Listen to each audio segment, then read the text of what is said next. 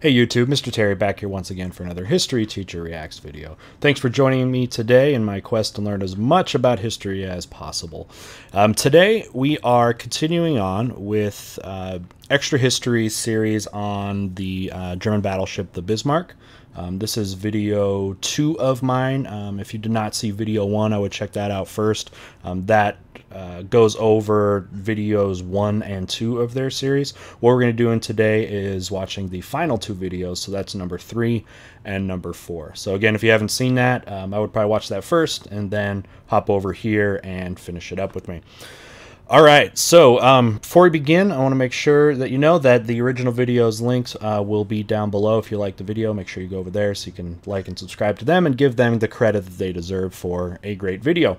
All right, uh, without any more talk, I think let's go ahead and get going. So this is episode three, um, hunting the Bismarck. This is this is uh, this one looks like it's called a chance to strike. So where we just left off is. Um, there was basically kind of like a two on two sort of battle here in um, um, near Denmark um, with uh, a couple of the biggest uh, of the um, British ships, and then against the Bismarck, which is the biggest ship um, in the world, I, I, believe, at this moment. Um, the only one that could compare with that was the Yamato uh, from Japan, but that may not be in commission quite yet at this exact moment, but will be. But, anyways, yeah, this is the uh, biggest ship here at the moment. It's really the crown jewel of the um, uh, the German Navy here. So it has just one battle um, by uh, sinking one of the massive um, British ships and uh, creating, or, and then leading the other one to have to flee as it's moving, trying to get out to the uh, more to the North Atlantic to uh, try to prey on merchant ships coming around Britain. So that's kind of where they had left off. Let's go ahead and jump right in. Maybe they begin with that, what I just said. I guess we'll see. But let's go ahead and jump in. Episode 3. With the hood sunk and the Prince of Wales damaged, nothing stands between the Bismarck and the Atlantic. But this is only the beginning of the Royal Navy's misfortunes. Was it going to get worse?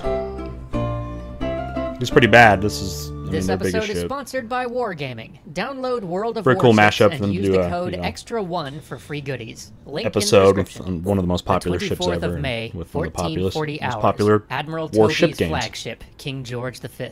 The Battle of the Denmark Strait has not only been a disaster for British morale, but it's presented a tactical problem. Bismarck and Prinz Eugen are loose in the Atlantic. Worse, the only ships close enough to engage the Germans are no match for those battleships. Instead so of intercepting Bismarck, huh? Admiral Tovey's home fleet is now chasing her south. But thanks to the cruisers and their radar, they at least know where the Bismarck is, and reconnaissance planes have reported a large oil slick following the vessel. Leaking? It seems that one of the Prince of Wales's shells wounded the beast, but it hasn't slowed her. If Tovey hopes to catch up to Bismarck, he has to Leaking cause her further good, damage. He orders his aircraft carrier Victorious to steam ahead of him. She's a faster ship, and with luck, she can get her swordfish torpedo bombers within range of the enemy before dark. 1839 hours. The Prince of Wales and a squadron of cruisers have been shadowing Bismarck and Prinz Eugen with their forward radar when one of the cruiser's lookouts spots something in the haze. Suddenly, Ooh. Bismarck cuts through the fog bank and opens up with her guns. The cruiser quickly turns and flees into the fog. Yeah. A mile behind it, the Prince of Wales fires a salvo. Battle seems imminent, but the Bismarck breaks off and continues north. When the cruiser yeah, reacquires Bismarck, want to engage its it. the Bismarck, notices this, that there's the Bismarck. Remember, the Bismarck's primary goal is to is to get out of here, um, to get west of Denmark, right, and out uh, more into the open seas of the northern Atlantic. Um, so it seems like, at least at this point, it just wants to engage in you know minimally for for what it needs to right now. Um, so yeah, they're trying to stop this thing from getting out there. That's what the British are, tr are trying to do here. There's only one ship on radar. When the cruiser reacquires Bismarck, its captain notices that there's only one ship on radar now, not two. The attack was a bluff, a ploy to break radar contact so Prinz Eugen could detach and slip away. They've lost one prize. 2,300 hours on the aircraft carrier Victorious. Nine Swordfish torpedo bombers lift off the pitching deck. They are not fit for this mission. The pilots are inexperienced, the aircraft are biplanes with bodies made of metal struts and stretched fabric. They carry only one torpedo each, and their top speed is only 138 miles per hour. But they are the only solution Still, available. Really fast. The squadron Seems really reaches the target area and sees a ship below. Then these rookie pilots begin an attack run that could change history. They dive low, a hundred feet above the hmm. waves, and line up to create a bank of torpedoes that will be hard to thread. But the ship's anti aircraft batteries aren't opening fire, and this ship seems a little small to be Bismarck. Flak lashes past the Sounds like you would squadron. know it's coming from a different Bismarck. ship, 10 miles distant. That's Bismarck. The swordfish pull go. out of their attack run and climb into the clouds, glimpsing the U.S. Coast Guard ensigns flying from the ship they'd nearly just sunk. U.S. UK relations are saved, but they've lost the element of surprise. That's weird. What if? Yeah. What if? uh What if that? Um, if they had attacked it, be hard to uh, excuse that, right? You don't want to. Not a time when you want to uh, mess with British American relations, right? Imagine. Sunk. U.S. UK relations are saved, but they've lost the element of surprise. The squadron drives towards the Bismarck in a storm of anti aircraft fire. Tracer rounds zip past. The great 15 inch guns fire into the sea, creating walls of water a hundred feet high. Flak rips the bottom out of one plane, while another swordfish hits a pillar of spray and nearly stalls. But all the things that make swordfish obsolete also make them a perfect weapon in this case. Modern anti aircraft batteries are designed to target faster planes, and the swordfish's low speed makes them easy to maneuver. Their cloth skins and frames are so fragile that shells smash right through without detonating. The swordfish loose their torpedoes. The Bismarck slowly swerves, trying to thread the gap between the tinfish. It succeeds twice, but as the swordfish buzz away, they see a bright flash and a gush of water amidships, right on the thick armor belt. Likely no damage. 25th of May, 0115 hours. Under orders to engage, the Prince of Wales fires on Bismarck at extreme range, but the weather cuts visibility to nothing. The cruiser squadron resumes shadowing the Bismarck by radar, zigzagging to throw off the U boats that Admiralty warns are in the area. During these evasive maneuvers, they lose and reacquire Bismarck every 20 minutes. At 0306 Okay. hours, the lead cruiser has the Bismarck on radar and then turns away. When they turn back at 0330 hours, the Bismarck is gone. They search, but Lost in vain. After shadowing her for 32 hours and a thousand miles, they've lost their quarry. 0600 hours on the King George the You wonder how you could just lose something that big, but I mean, these things. It's incredible how fast and agile was. I was talking earlier how I was, you know, trying to try to kind of, um, yeah, thread the needle between the torpedoes that the planes are dropping. Can you imagine trying to um, to make these kind of turns and these maneuvers with such an enormous, heavy ship? Uh, it's amazing you could even do that at all. thousand miles, they've lost their quarry. 0600 hours on the King George V, three hours since last contact. When Tovey learns that the cruisers have lost Bismarck, he goes to his charts. The oil slick reported behind Bismarck suggests that the ship is damaged, in which case, he reasons, it would try to return to port either in Norway or occupied France. But if Bismarck isn't badly damaged, it could link up with an oil tanker, refuel, and play havoc with supply convoys. Mm, we don't know. This scares Tovey. His ships are already low on fuel, and if the search continues too long, they're gonna have to return home. If Bismarck finds a tanker, she could simply wait them out. He orders several of his cruisers, battleships, and the Victorious to refuel in Iceland. It'll mean he's short-handed in the meantime, but he'll have the option for a long-term search. If it comes down to it, he has the battleship Rodney in intercept position, just in case Bismarck heads for the French coast. 0930 hours at Bletchley Park. 6.5 hours have passed since last contact. Every day is a race for the code breakers at Bletchley Park. The settings So we're for not talking about, there's Enigma not much to react to at the day, moment. And every day, Bletchley's kinda bombe, taking it in. a huge computer, runs through different settings until the intercepted messages turn into readable German. Once that happens, it's a scramble to decode as many intercepts as possible before the codes change again. Hut 4, the computer that deals with German naval signals, is trying to sort through a mountain of intercepts to find where Bismarck is headed. But the Bismarck isn't the only German vessel in the Atlantic, and because the naval version of the Enigma has five rotors instead of four, actual decryptions will take a week to come through.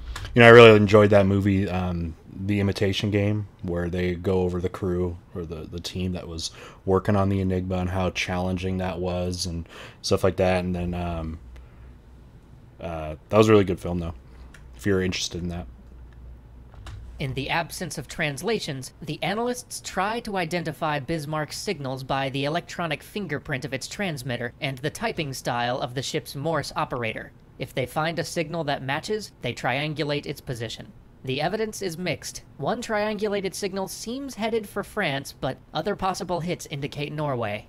But one analyst notices that the broadcasts being sent to the Bismarck have changed origin points. Until noon the previous day, signals to the Bismarck originated at a station in Germany, but now they're coming from Paris. This suggests that hmm. Bismarck has traveled out of the German station's range and is headed for France. They decide Okay. to trust the French signal. They broadcast the raw data to Tovey, whose destroyers can triangulate the signals with their own equipment.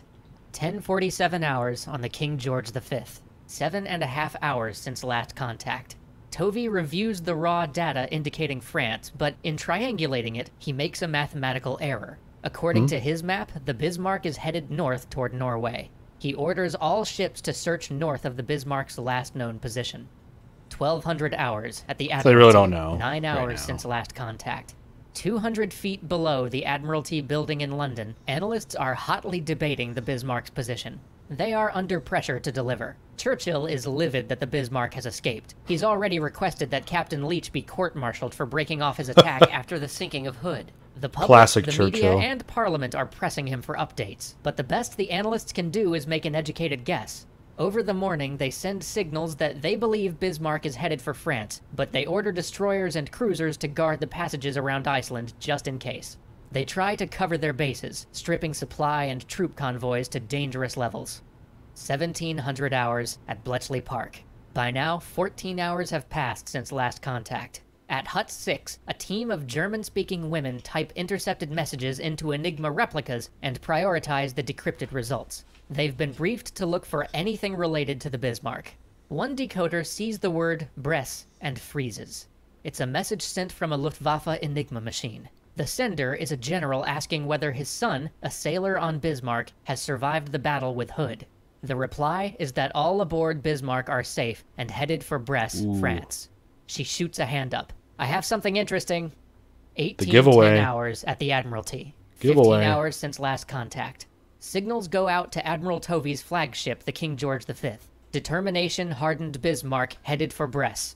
Tovey has been sailing in the wrong direction for hours. You lose the him. Admiralty orders land-based reconnaissance flights on all approaches to Brest. Nobody at sea or on land will sleep tonight. The 26th of May, 10:35 hours at PBY hmm. Catalina Patrol. 31 hours since last contact. Catalina flying boats, obtained from America via Lend Lease, have been scouring the ocean since dawn. But in closely guarded secret, the pilot of one particular aircraft is also American, one of several US Navy officers sent to train the British. Through a break in the clouds, the Catalina pilot sees an unidentified battleship 700 miles west northwest of Brest. It's leaking oil. The ship's anti aircraft guns erupt in a mountain of fire, shaking the Catalina. As the pilot banks and climbs, the British co pilot runs aft to transmit their discovery. Every ship on patrol drives straight for the Bismarck, but fuel is critical. If they make full speed, they may run out of petrol and have to break off, but if they slow, they might lose her. And catching her is crucial. By the Hmm. what next you do? day, Bismarck will be safely in range of Luftwaffe air cover. The Royal Navy can't simultaneously battle Bismarck and fight off waves of bombers. The only ship close enough to strike a blow is the aircraft carrier Ark Royal. She speeds ahead to strike range. 1500 hours.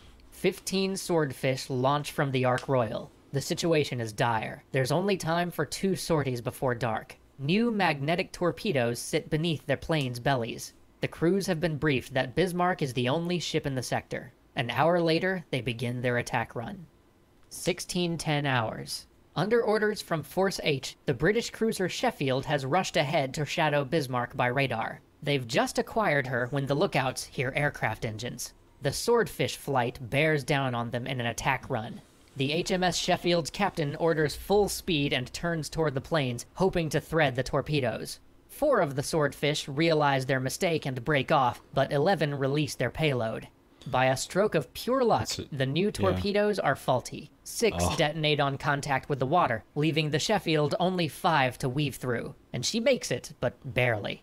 Returning to the Ark Royal, the demoralized pilots refuel and rearm for another run.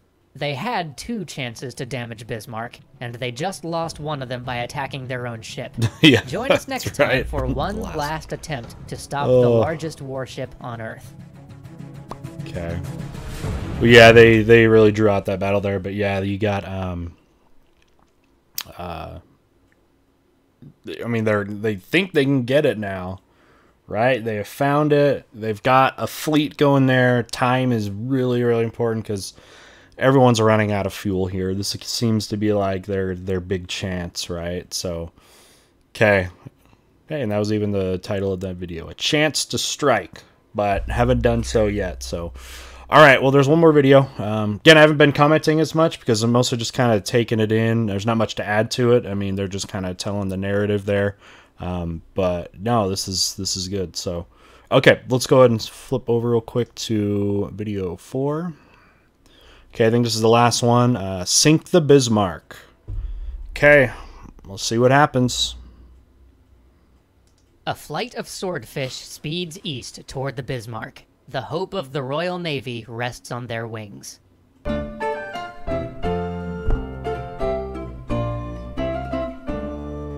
This episode is sponsored by Wargaming. New players can download World of Warships and use the code EXTRA1 for free goodies. Link in the description.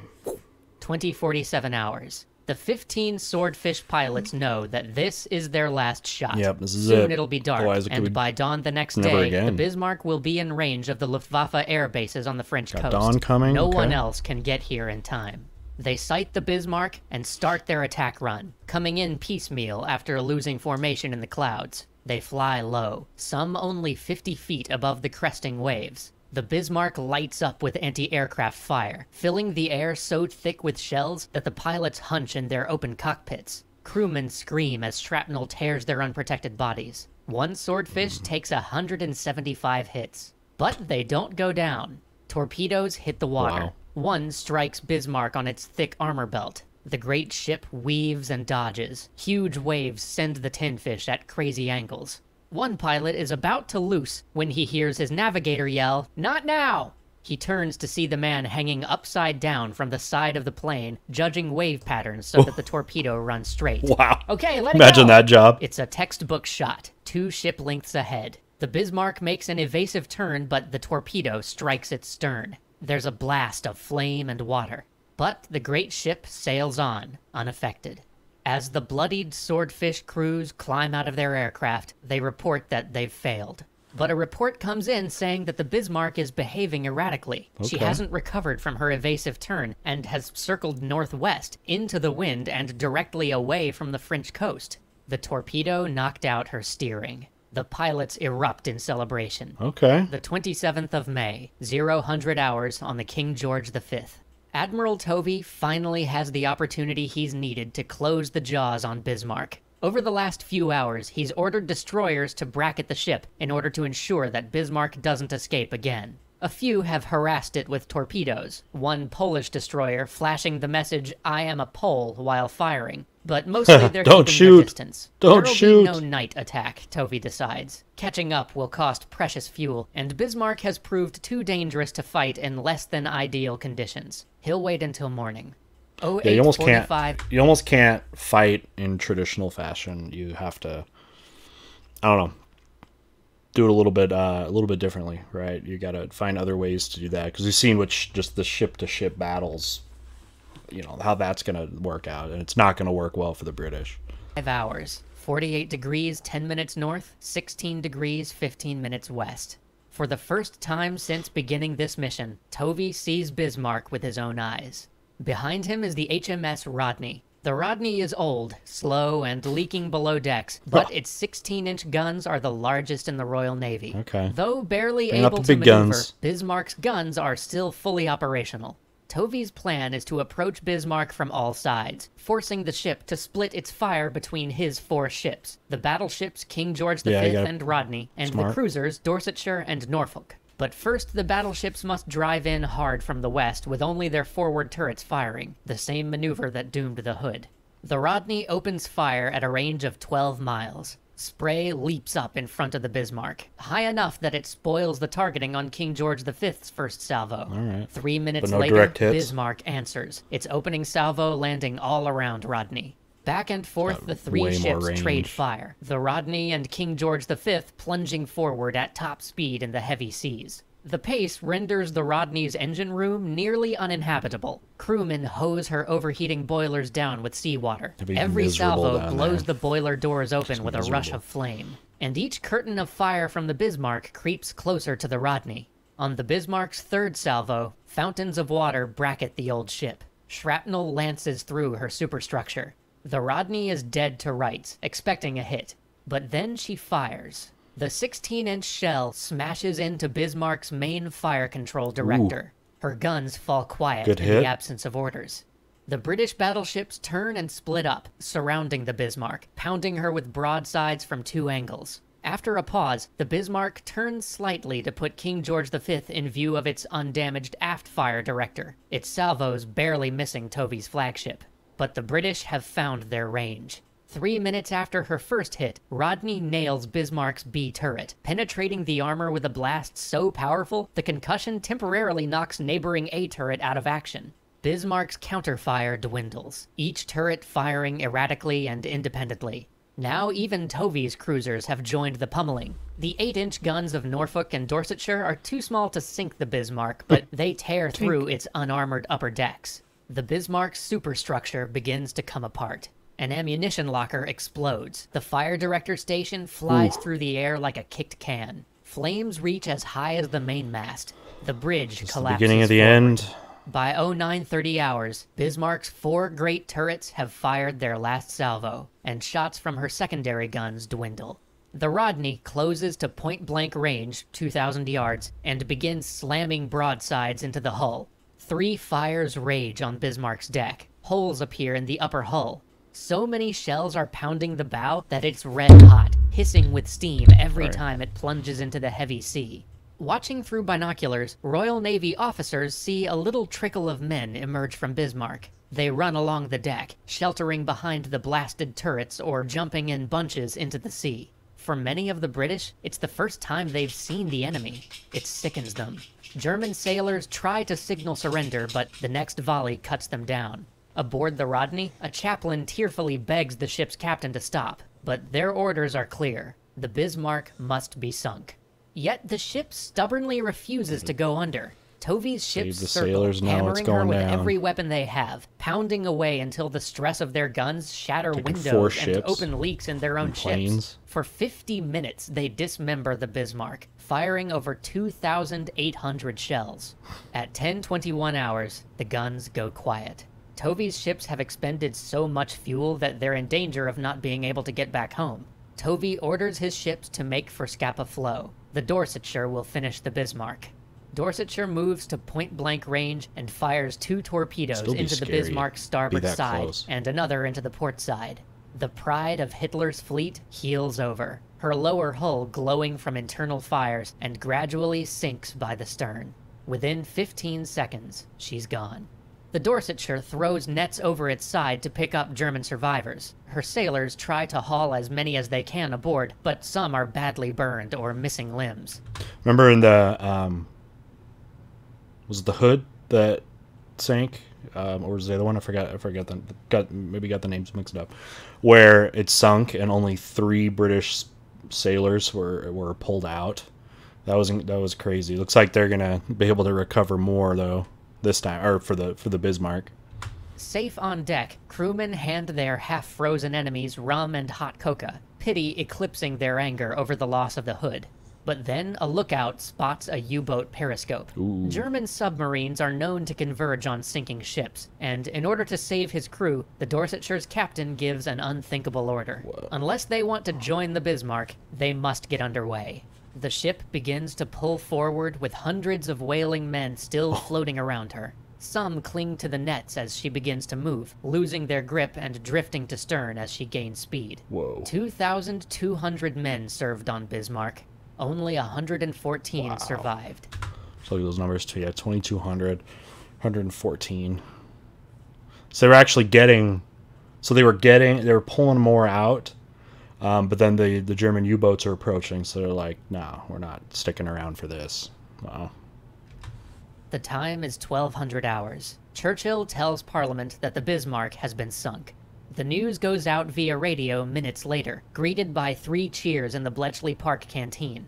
It's a major victory for the codebreakers, proof that their program can deliver results. The victory comes at a crucial time. It distracts the press from Royal Navy losses in the Mediterranean, and signals to the US Congress, still divided over American convoys, that the Royal Navy can defend American shipping. In Germany, propagandists spin the Bismarck sinking as a noble last stand, but Hitler receives a different message. He's never trusted naval power. Capital ships are hmm. too expensive, too vulnerable to air raids, and their loss is too public. Plus, they gobble up Germany's wrong, limited right? fuel resources. The Royal Navy could have the Atlantic. From now on, he would use his capital ships defensively and employ U boats to harass convoys. After all, his focus was needed elsewhere. In three weeks, Germany's forces would invade the Soviet Union, Ah, and he'd have Barbarossa. plenty of time to deal with the troublesome English once he'd captured Moscow. Or so he thought. Yeah. Thanks again to Wargaming for sponsoring these episodes. Hitler's got, Fair he's got much, everyone. much bigger If you much bigger fish to fry with the Soviet Union here. Um, yeah, don't know the timeline quite between the two there. Um, but yeah, Operation Barbarossa about to commence. What they say, three weeks. That's the invasion of um, of Russia. So yeah, so it's kind of like rather than I guess go, he's gonna pout about it or whatever, be like, "No, that was such a blow." He's gonna be like, yeah, I didn't care anyways. I didn't care about the Navy anyways, right? We're we're we're a land power. You know what I mean?" So, I mean, how else would you respond? You know, just this devastating loss that you publicly mourn. You know what I mean? Um, maybe for the humanitarian purpose, you, you could, but no. All right. Well, great. You know, that was a very detailed uh, account. You know, for for the whole process.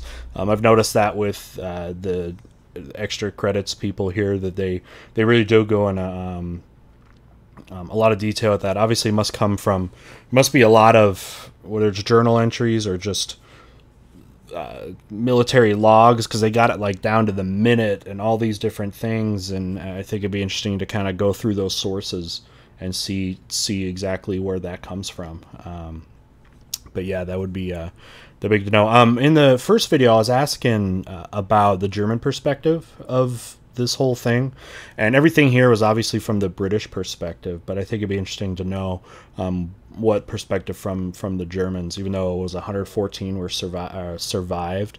Um, are there are there some good uh, primary sources from the Germans, from from sailors there, or from the command out there. I think that'd be interesting to to definitely check out. So, yeah, interesting story of how much effort and how long it took for you know the British Navy, which is like the most powerful navy in the world and, and, and in history, pretty much, and you know how how much trouble it had with just just this behemoth of a ship. Um, but yeah, it looks like as I'm really more less interested in a lot of details about history and really look at cause and effect relationships. And the effect it looks like was, which is important, is the most important thing, is that the Germans will kind of, it looks like kind of stop with um, some of the more offensive movements for Navy and try to just stay more defensive right and that's that's that's a pretty smart move i think on their behalf as as at this point in the war they were doing so well on the ground um, but yeah that's that's i think the most important thing and uh, to learn about in history is cause and effect relationships right? Okay.